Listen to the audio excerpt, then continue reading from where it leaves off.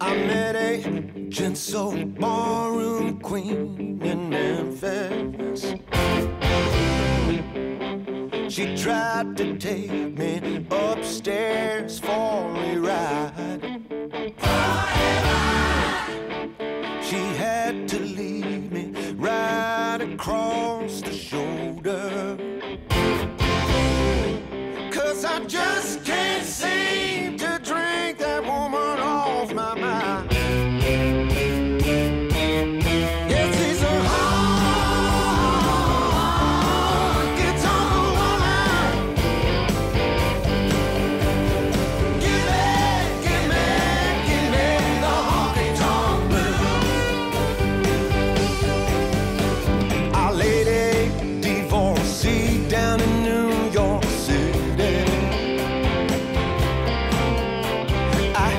To